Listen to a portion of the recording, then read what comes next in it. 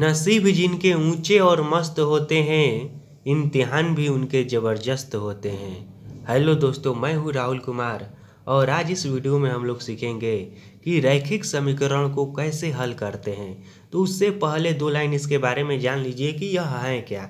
तो देखिए, वैसा समीकरण जिसमें चर का घात एक हो, यानी कि चर का पावर एक हो, यानी कि एक्स वाई जेड वाला जो रहता है ना, उसका पावर यदि एक रहता है ना तो उसे रैखिक समीकरण कहते हैं। तो रैखिक समीकरण किसे कहते हैं? समझ लीजिए आप लोग। तो और एक बार सिंपल से समझ लीजिए कि वैसा समीकरण जिसमें ए बी सी डी वाला जो अच्छा रहता है, उसका पावर एक रहता है, उसे रैखिक समीकरण कहते हैं।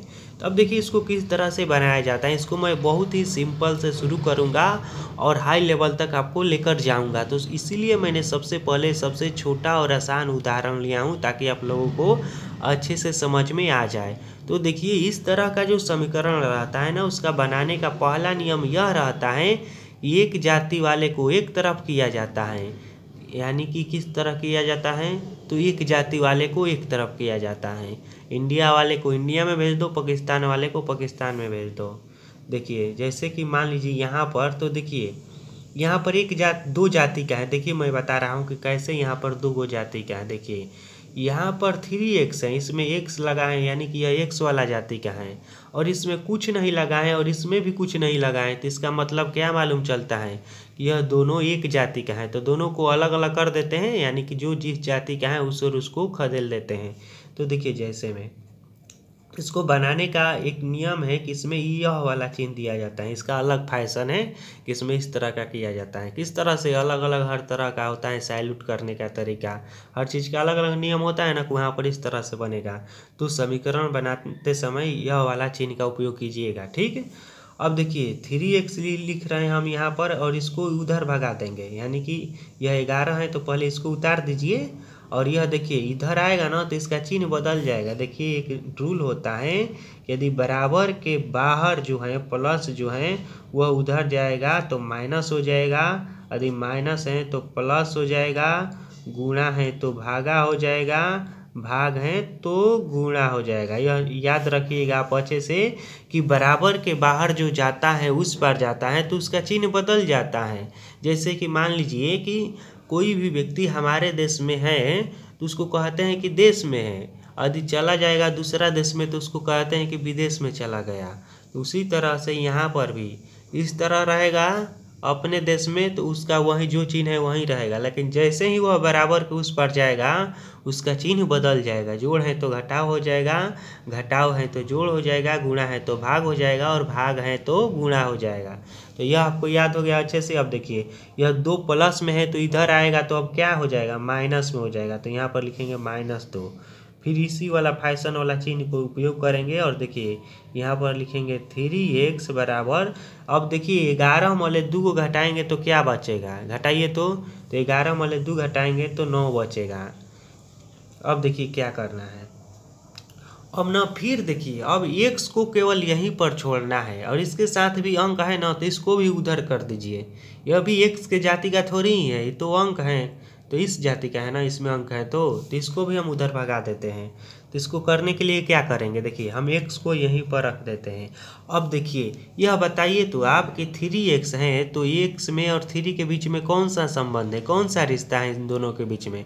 जानते हैं कौन सा रिश्ता है? गुणा का रिश्ता है। कोई चीज़ नहीं दिया रहता है ना और दोनों सटा हुआ रहता है तो उसमें समझ लीजिएगा कि गुणा का रिश्ता है। जैसे कि मान लीजिए और भी एग्ज़ाम्पल मैं आपको यहाँ पर समझा रहा हूँ। मान लीजिए कि दू एक्स हैं थ्री एक्स हैं, या फोर एक्स हैं, या दो एक्स स्क्वायर हैं तो इन इन सभी के बीच में देख रहे हैं, यहाँ पर यहाँ पर यहाँ पर यहाँ पर कोई चीज़ नहीं है डायरेक्टली सटा हुआ है तो इसका मतलब होता है कि इन दोनों के बीच में गुणा का चिन्ह है। किसका चिन्ह है? गुणा का चिन्ह है। और क्या नियम है? कि गुणा के चिन्ह रहता है, इधर तो उधर जाता है तो भागा में हो जाता है। तो बराबर के उधर ले जाएँगे तो क्या हो जाएगा? भागा में हो जाएगा। तो पहले नौ है ना तो नौ को लिख दीजिए। और भागा में आएगा तो नीचे आएगा। कहाँ आएगा? नीचे आएगा। तो तीन को नीचे लिखेंगे। समझ में आया यह कैसे बना? देखिए। यहाँ पर है तीन एक्स के साथ गुणा में, ठीक? तो उस पार जाएगा तो भागा में हो जाएगा और भागा में होगा तो नीचे लिखाएगा देखिए, भागा वाला को एक बटा देकर लिखा जाता है। तो एक बटा तीन लिखते वहीं हमने डायरेक्ट ही नौ के नीचे तीन लिख दिया है। अब देखिए, यहाँ पर यह जो तीन से नौ जो है कटेगा। तो कटेगा तो हम कटा देंगे और हमारे लिए आसान हो जाएगा। तो तीन का पहाड़ा में कितने बार में नौ है? तितरी का नौ, यानी कि एक्स बराबर आया तीन। तो इस तरह से रैखिक समीकरण को हल किया जाता है। समझ गए आप अच्छे से? और एक उदाहरण लेकर यहाँ पर आपको मैं समझा दे रहा हूँ। देखिए, जैसे कि मान लीजिए हैं, दो एक्स हैं प्लस सात हैं बराबर आठ एक्स है माइनस पाँच है। इस तरह का समीकरण है। इस बार हल्का सा बड़ा लिया हो ना? आगे और भी बड़ा बड़ा लेकर आपको बताऊँगा अगले वीडियो में। बहुत ही एडवांस लेवल तक आपको लेकर जाऊँगा। सिर्फ़ मेरा वीडियो देखते रहिएगा। देखिए तो इसमें कौन सा फ़ैशन का चिन्ह दिया जाता है? यह वाला दिया जाता है, ठीक? अब देखिए, इसमें भी हम वही काम करेंगे। एक जाति वाले को एक साथ और एक जाति वाले को एक साथ। यानी कि सबसे पहले इनको हम अलग अलग करेंगे। जो जिस जाति का है, उसको उधर लेकर जाएँगे। समझ में आ रहा है आप लोगों को? तो देखिए यहाँ पर।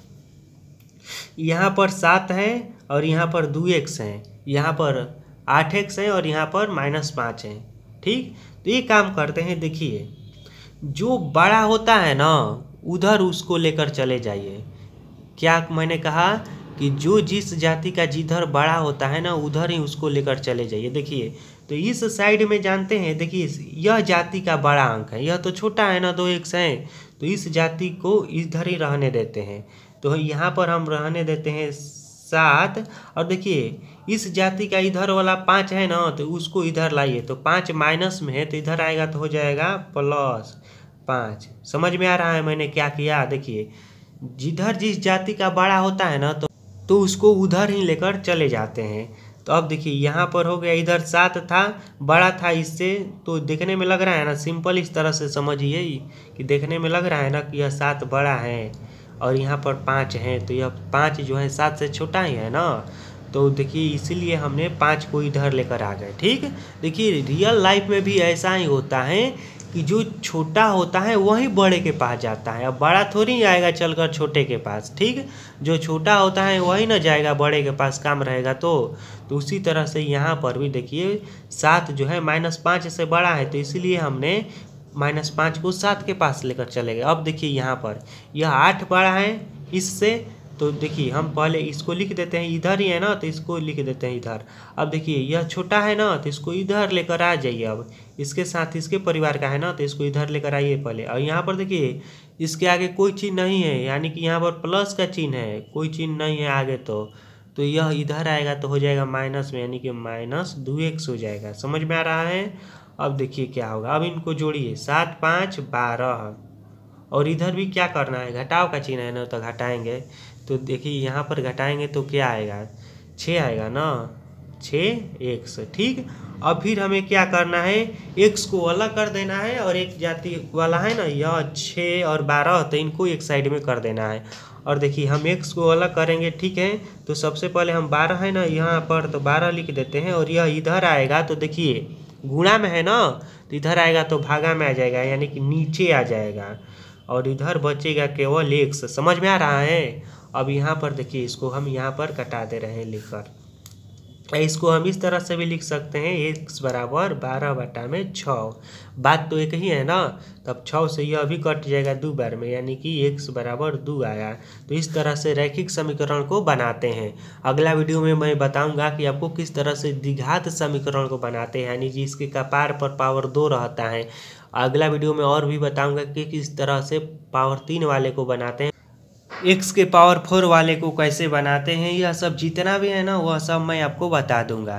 तो यदि आप हमारे चैनल पर नए हैं तो चैनल को सब्सक्राइब कर लीजिए और बेल आइकन को भी ज़रूर प्रेस करिएगा ताकि आने वाले वीडियो सबसे पहले आप तक पहुँचे। और हाँ यह वीडियो आपको कैसा लगा कमेंट करके बताइए, तभी तो हमें मालूम चलेगा। और अगला वीडियो आप किस टॉपिक पर देखना चाहते हैं, यह भी कमेंट कर सकते हैं। जिस टॉपिक पर ज़्यादा कमेंट रहेगा, अगला वीडियो मैं उसी टॉपिक पर बना दूँगा। और यह वीडियो आपको अच्छा लगा होगा तो वीडियो को लाइक करना। यदि नहीं लगा होगा तो डिसलाइक करना। लेकिन हमें अपना फीडबैक ज़रूर देना, तभी तो हमें मालूम चलेगा।